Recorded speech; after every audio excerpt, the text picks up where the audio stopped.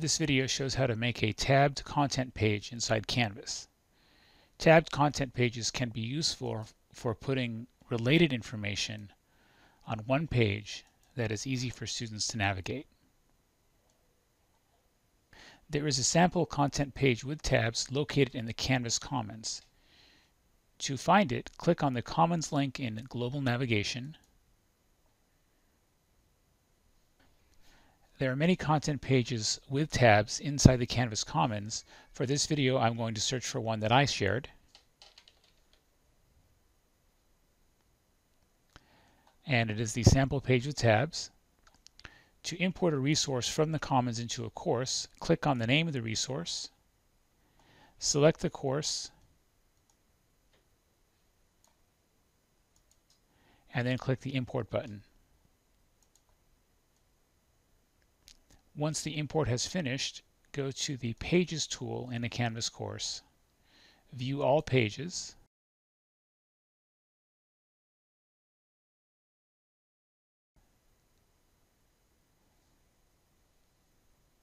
and the page sample page with tabs will be listed. The sample page with tabs includes header text and footer text, which is useful to have because sometimes students will not click on the other tabs as they advance through a module. When editing a page with tabs, it's important that the link structure is kept at the top of the page.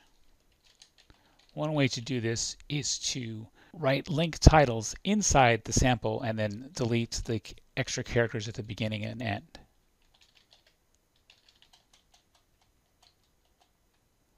And then of course make sure that the headings on the page match the links at the top. The content paragraphs can also be replaced.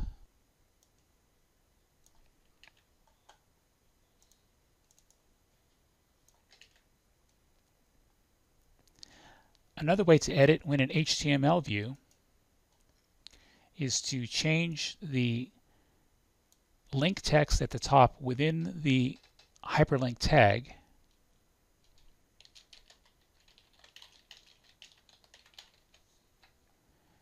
and then to change the tab content paragraphs within the div tag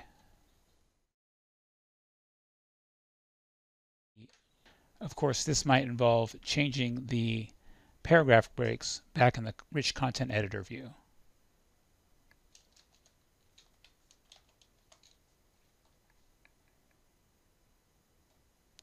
The header and footer text can be changed either in Rich Content View or an HTML view.